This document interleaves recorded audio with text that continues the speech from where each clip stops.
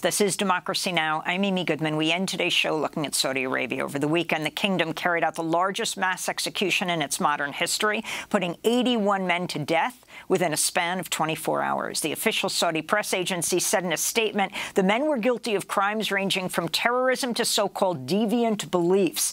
Among those executed, people arrested for participating in human rights demonstrations. Rights groups say many of the defendants were denied access to a lawyer, held incommunicado, and tortured. While human rights groups have condemned the execution, the Biden's response has been more muted. On Monday, State Department spokesperson Ned Price was asked about the U.S. response. Does the United States also condemn the executions? Well, we've seen these reports uh, that uh, Saudi Arabia executed 81 people uh, on March 12th. We continue to raise with Saudi Arabia the need to ensure fair trial guarantees, freedom from arbitrary and extrajudicial detention, transparency, the rule of law, and freedom of religion and belief. This comes as UK Prime Minister Boris Johnson is expected to travel to Saudi Arabia for talks with Crown Prince Mohammed bin Salman to push the world's top oil exporter for increased output as he called on the West to end its addiction to Russian fuel. Axios recently reported U.S. officials have been holding talks with Saudi officials about a possible visit by President Biden to discuss global oil supply and, quote, help repair relations. For more, we're joined by Sarah Leah Whitson, Executive Director of Democracy for the Arab World Now, or DAWN, a group founded by Jamal Khashoggi, who was assassinated in the Saudi consulate in Turkey in 2018. In fact, she's involved in a lawsuit representing his his fiance for that murder. Sarah Leah Whitson, can you talk about what happened this weekend and then the Biden administration courting Mohammed bin Salman?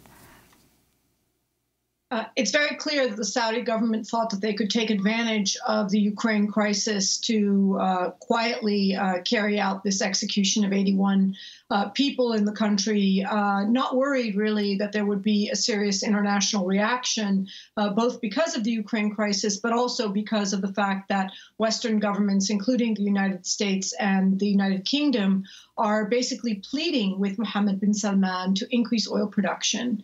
Um, so, really, it was a way for Mohammed bin Salman to demonstrate that he can do whatever he wants, uh, including engaging in this shocking act of bloodletting uh, against 81 uh, people in Saudi Arabia in a single day. And who they are, those men that were well, killed? We have some limited information. Um, we know that seven of the men uh, were Yemenis, uh, believed to be prisoners of war. There was one Syrian national among them. Uh, the remainder appear to be Saudi citizens, uh, 41 of whom we believe to be from the uh, Shia minority community in the country. So, Sarah Leah Whitson, can you talk about the White House's response to this mass execution, the largest in uh, Saudi modern history, and how that fits into uh, both the Biden administration, the British Prime Minister going to Saudi Arabia, possibly Biden, to repair relations?